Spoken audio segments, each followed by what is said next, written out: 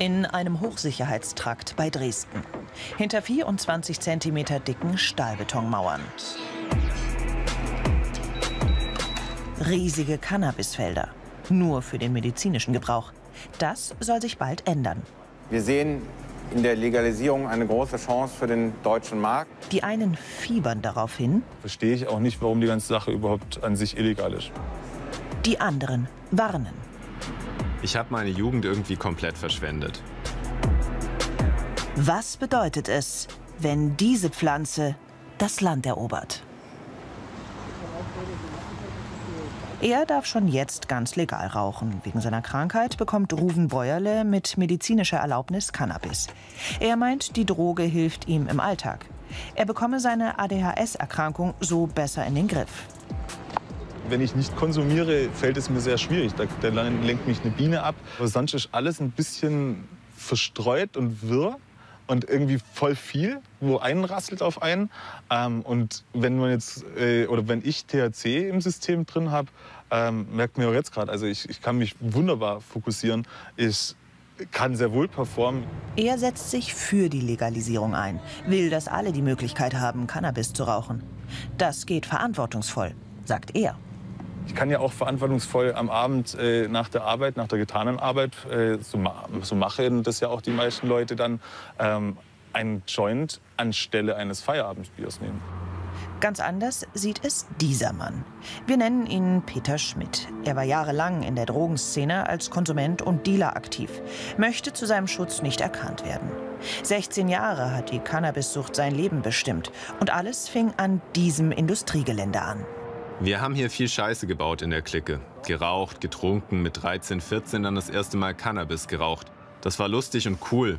Dann habe ich auch gedealt und mit 16 hatte ich dann meine erste Hausdurchsuchung gehabt, wo man dann schon erst mal geschockt war, als um 12 Uhr nachts bei meinen Eltern drei Polizisten standen. Aber auch das kann seine Sucht nach Cannabis nicht stoppen. Er rutscht immer weiter ab in die Szene, dealt bald mit verschiedenen Drogen in großen Mengen, wie er uns sagt, und nimmt sie schließlich auch.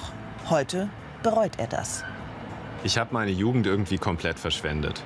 Ich habe viel in meinem Leben verpasst, Freizeitaktivitäten oder Reisen gehen, mache jetzt den Führerschein wieder und das sind alles so Baustellen.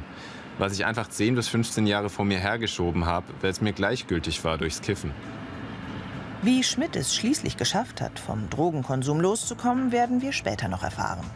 Jahrelang rauchte er mehrere Joints am Tag. Doch es geht schon längst nicht mehr nur um den Konsum.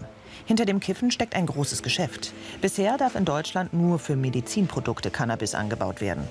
Aber auch das ist in Dresden beim Unternehmen Demikan bereits eine Tonne im Jahr. Der Staat hat den Anbau begrenzt. Sie könnten und wollen deutlich mehr. Wir sehen in der Legalisierung eine große Chance für den deutschen Markt, der heute schon bestimmt wird durch einen Schwarzmarkt mit einem Volumen von 420 bis 770 Tonnen.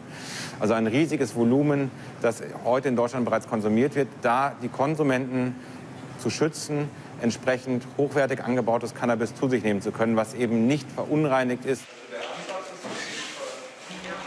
Dabei geht es um das THC, der Wirkstoff, der High macht, aufputscht oder beruhigt. Und der sitzt nicht im Blatt, sondern glitzernd auf der Blüte.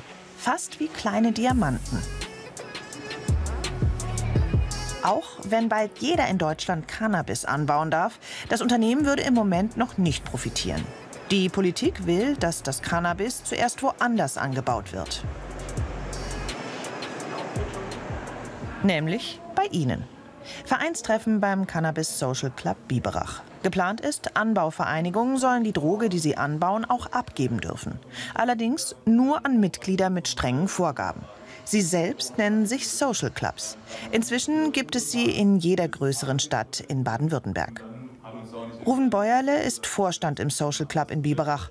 Dort überlegen sie gerade, wie sie ihre Pflanzen anbauen möchten. Zudem müssen die Clubs auch Präventionsbeauftragte bestimmen, die Mitgliedern als Anlaufstelle dienen. Die Vereine sollen also vor ihrem eigenen Stoff warnen. Kann das klappen?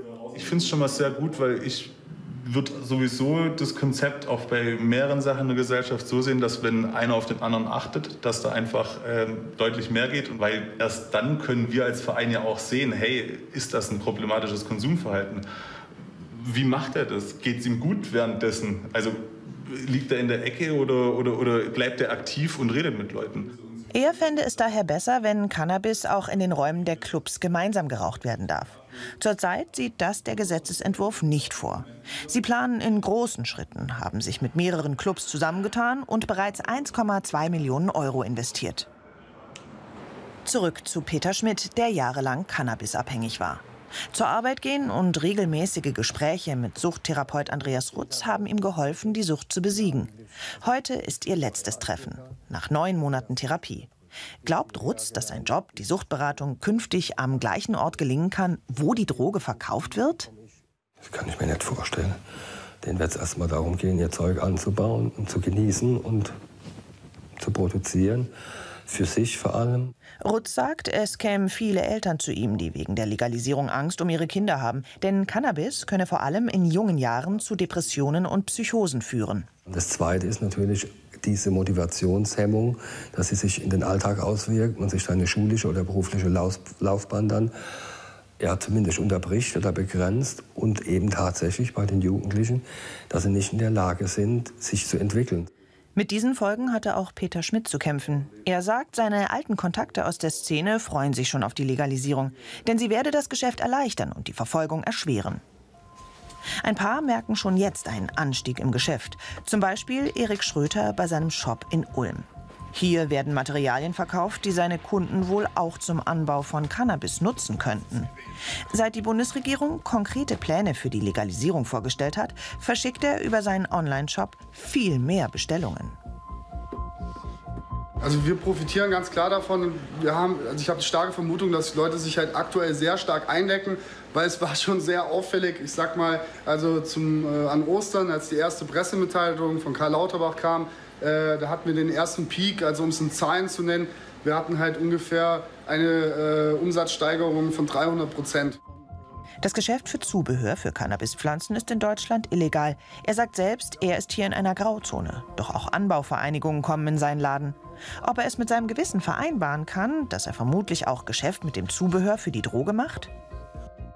Nun, also ich kann es ganz gut eigentlich vereinbaren, weil meiner Meinung nach ist halt jeder selber verantwortlich und ich baue ja nicht die Droge an oder empfehle jemandem, diese Droge anzubauen, denn ich verkaufe die Gerätschaften halt dazu.